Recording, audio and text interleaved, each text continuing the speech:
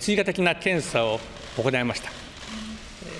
体調管理に万全を期して、まあ、これからも、まあ、これからまた仕事に頑張りたいと思います。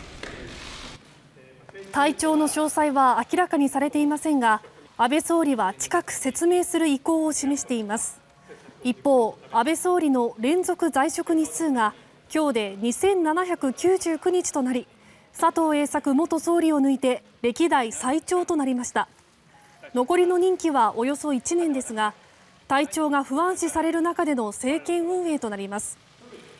これに対し自民党の岸田政調会長は来月の党役員人事などの政治日程について影響しないようにしっかり体調調整していただきたいと述べました。